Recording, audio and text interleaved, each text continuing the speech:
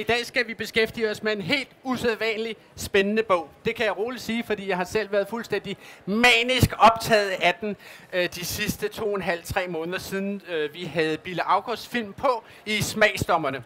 Bill August film om balladen om Marie Krøyer. Der sad der nemlig en smagsdommer og sagde, det er en fantastisk film, men så skulle I bare prøve at tage og læse bogen. Den er endnu mere fantastisk. Og det er jo altså den, som Anastasia Arnold har skrevet for meget, meget lang tid siden, altså helt tilbage i 1999, så tænkte jeg, når nu der sidder en smagsdommer inde i fjernsynet og siger, det var, ja, han sagde faktisk, og jeg tror stort set ordret, han sagde, Balder Olrik, det er den mest spændende kunstnerbiografi, jeg nogensinde har læst.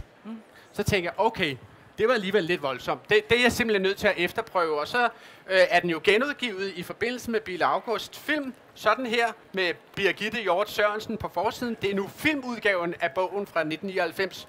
Og så læste jeg den, og jeg må sige, Anastasia, jeg var rystet. Det her er jo simpelthen sådan en page-turner, som giver Leonardo, øh, som giver Da Vinci-mysteriet kamp til stregen. Der er simpelthen så mange steder, hvor man når til slutningen af et afsnit og tænker, det er simpelthen løgn. Det er løgn. Det gør han ikke. Det skete ikke. Jo, fandme.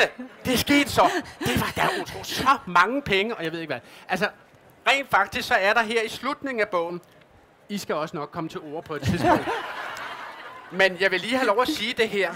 Øh, I slutningen af bogen, og jeg spurgte, om man kan lave et nærbillede af det her, det kan man åbenbart ikke, men i slutningen af bogen optræder der det her billede af den godt og vel 70-årige Marie Krøyer fanget i et ikke særligt travlt øjeblik i København. Et år før hun dør. Og når man ser det her billede, så tænker man, det giver mig nærmest gåsehud at kigge på det den dag i dag. Altså fordi jeg tænker, den her kvinde har været et af de mest dramatiske liv igennem, jeg nogensinde har hørt om.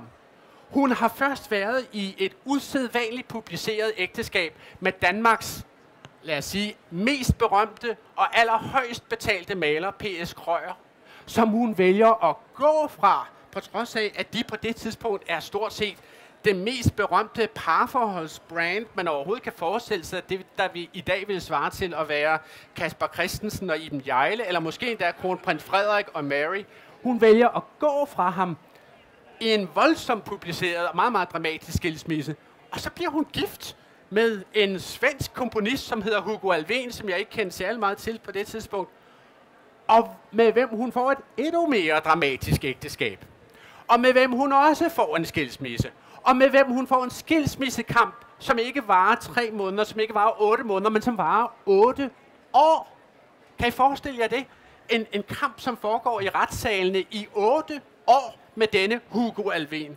Så jeg synes ved Gud, at der er meget at tale med både Anastasia Arnold og Bille August om. Og velkommen til. Nu er det jeres tur. Tak. Tak. Anastasia, fortæl os først og fremmest. Det er jo dig, som har trukket Marie Krøyer frem fra P.S. Krøyers malerier. Vi kender hende som den smukke på alle de fantastiske malerier, men du har trukket hende helt frem i litteraturens lys. Og hvad var det ved Marie Krøyers skæbne, som fascinerede dig? Hvordan fik du færden af, at her var der en særlig kvindeskæbne, der var værd at beskrive på 400 sider? Jamen, det starter meget blødt, kan man sige, på den måde, at jeg ser det maleri, som nok mange kender, øh, med Marie, der står på stranden med hunden ved siden af sig. Og jeg havde set det illustreret førhen. Men da jeg så det, så var det så, at jeg fik øje på hendes følsomhed, hendes sårbarhed, den sorg, der udgik fra hende. Og det ramte mig meget dybt i hjertet. Og det gjorde, at jeg blev nysgerrig på hende. Jeg prøvede at finde noget at læse om hende, og så viste at der var cirka 6 af 4 sider, sådan utrolig overfladisk omkring hende. Og det kunne overhovedet ikke tilfredsstille min nysgerrighed. Så derfor så begyndte jeg at grave og, og så blev det altså et projekt, og jeg blev så suget ind og måtte simpelthen fortsætte, fortsætte. For det tog jo seks år. Uh, researchen var fem år, og der er tidspunkter, hvor altså, der var jo ingen forelægger, der sådan lige umiddelbart, eller nogen af mine omgivelser, der synes, det var en god idé. Jeg havde skrevet en biografi om Bror Bliksen. Jeg var sådan, anerkendt. Hvad ville jeg dog skrive om det der iskolde, forfærdelige kvindemenneske, som alle mente, at de vidste, hvem var? Men det viste sig jo, at der var så lidt, at man vidste ikke, hvem hun var. Og så blev det, jo mere folk var negative og, og havde sådan deres fordomme, jo mere interessant blev det så også at afdække den faktuelle virkelighed. Mm. Og hvordan blev du så involveret i Marie Krøgers liv, Bille? Jamen, det skete på den måde, at jeg faktisk fik en henvendelse fra, fra Anastasia, om jeg var interesseret i at, at blive involveret i det her projekt, eller at lave en film om øh, øh, Marie Krøyer. Øh, jeg har altid været meget optaget af skagensmalerne, og det fænomen, at så mange fremragende malere havde besluttet sig for at, at, at, at bosætte sig på et så fjernt øde sted, som Skagen var på det tidspunkt. Men da jeg så læste øh, Anastasias bog, så blev jeg dybt fascineret af det, den her øh, kvinde, som jo, som du også siger, var så modig, at hun trodset af alle de øh, ting, som hun jo gjorde ved at, at, at, at forlade sin syge mand. Øh, og det er klart, at når vi skulle lave en spillefilm, så skulle vi også beslutte os om, hvad, hvad den i virkeligheden skulle handle om. Altså, vi, kunne ikke, vi, vi, vi ville ikke lave en, en biografisk eller, eller en, en, en biografi om hele hendes liv, men vi var nødt til at fokusere på en del af, af, af, af, af Marie Krøyers liv. Kan, kan du forklare, hvorfor det?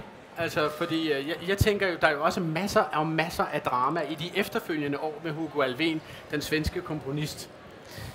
Ja, men altså, når man laver en film, så at en film skal have en præmis, en film skal have en, en storyline, skal, have en, en, skal være, handle om et eller andet. Og, og jeg synes, det, der var spændende ved, ved Marie Krøyers liv, var det, at hun, trods at hun var så, øh, altså celebrity nummer et i Danmark, at hun var så modig, at hun stod ved sine følelser, og hun, hun turde forlade sin mand. Og, og på den måde synes jeg også, at hun var en kvinde forud for sin tid, at hun øh, øh, netop øh, var så tro over for sine følelser.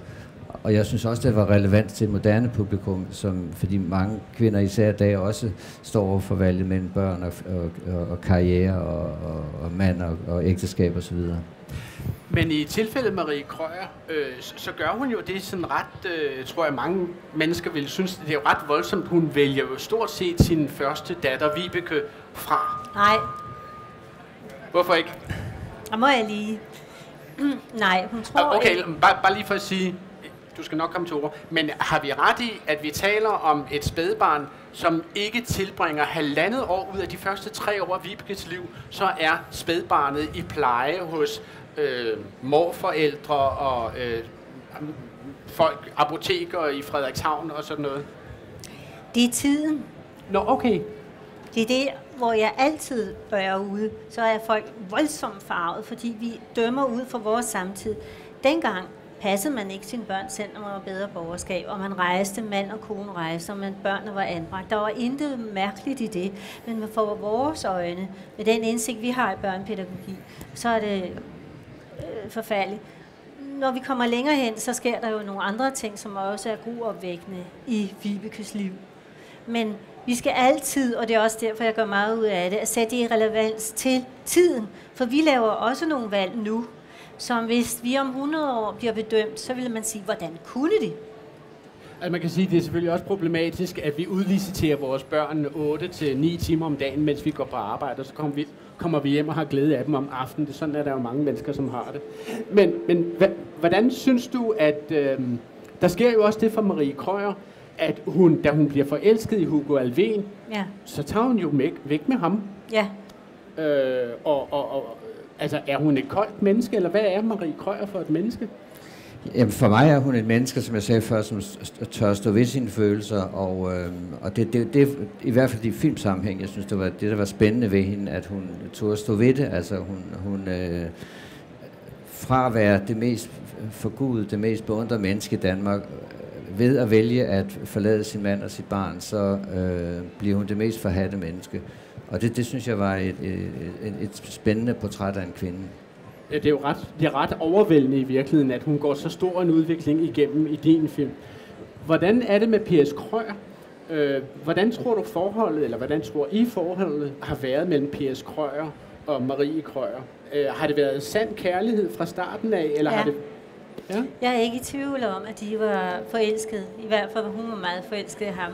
Og valget af ham er også et, øh, ser ud til at være et på mange måder sundt valg. Men hun har valgt ham, fordi hun er forelsket, for der var jo mange, der var forgudet og forelskede Marie. Øh, hun var jo så smuk. Men hun forelsker sig kun to gange, og hun vælger dem, de mænd, hun forelsker sig i. Og med Krøyer var det, at hun kunne både få lov til at blive ved med at male, hvad hun gerne ville, og hun fik en mand, der elskede hende, og som hun kunne støtte sig til, troede hun.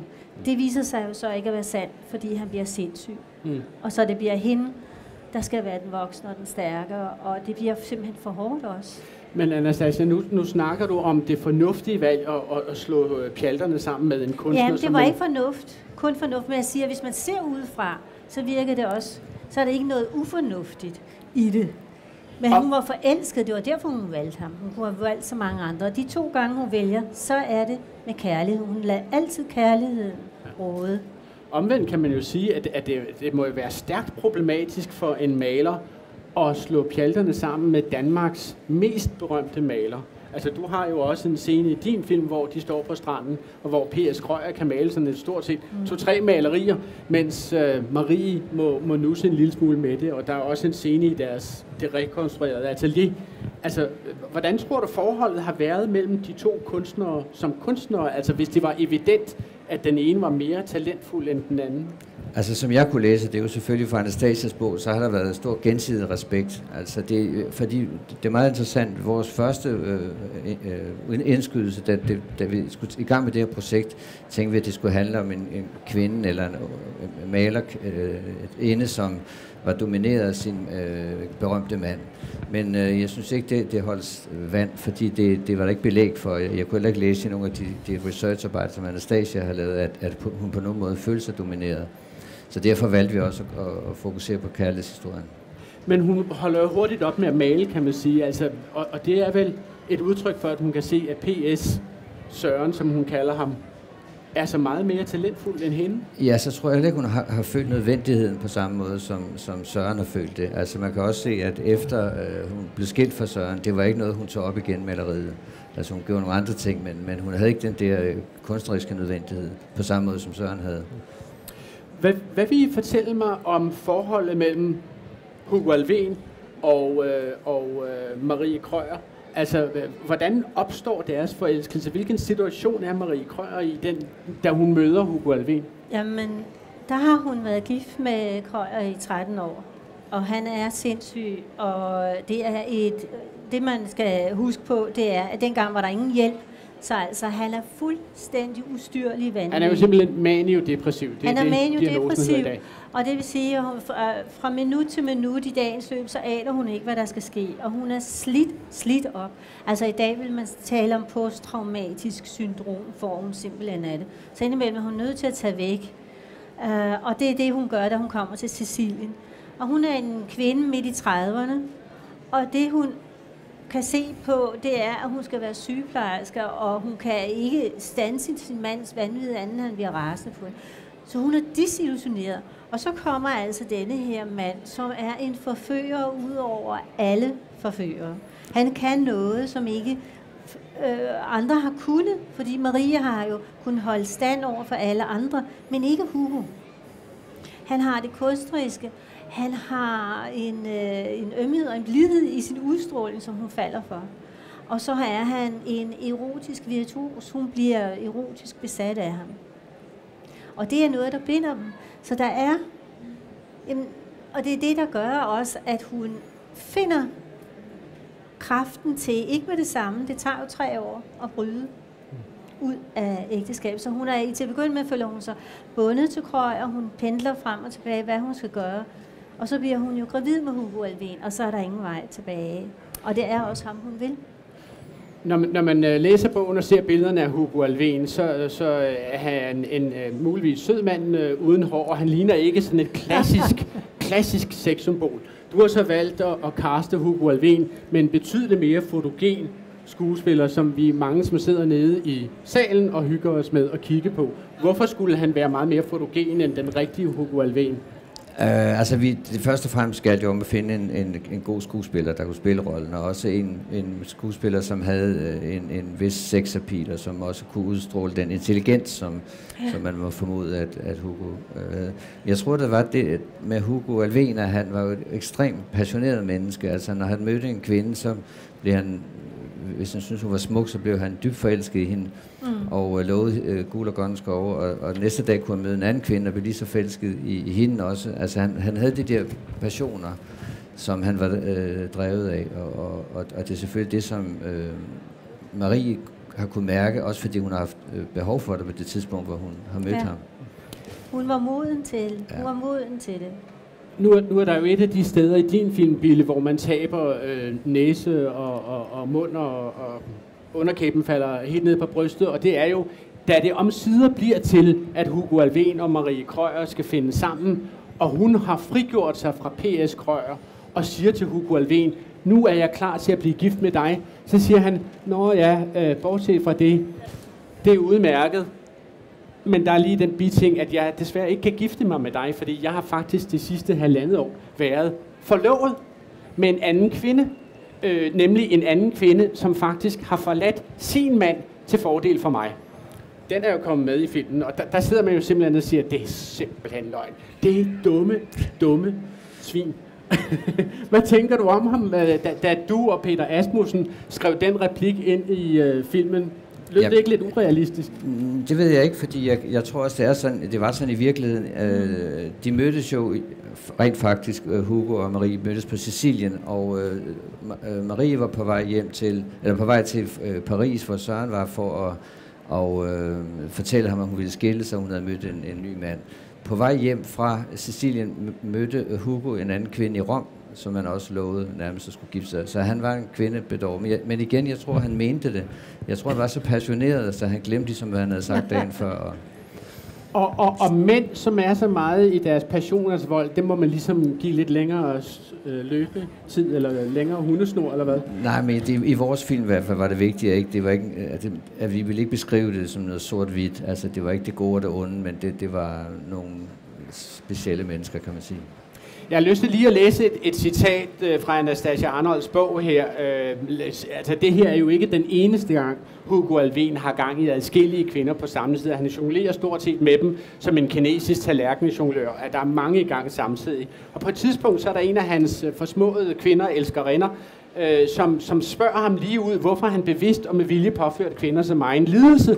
Og så svarer han simpelthen åbent med sin charmerende barnlige stammen, når jeg ved, de sidder og græder og venter på mig, så hører jeg fantastiske toner, der vælter frem i mig, og jeg kan skabe musik.